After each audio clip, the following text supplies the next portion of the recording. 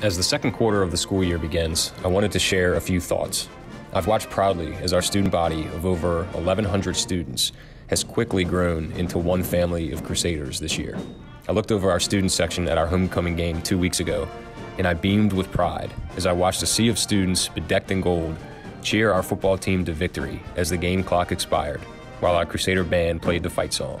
Last Saturday, I again watched our student body unite at the homecoming dance, an event in which an astounding 725 of our students attended.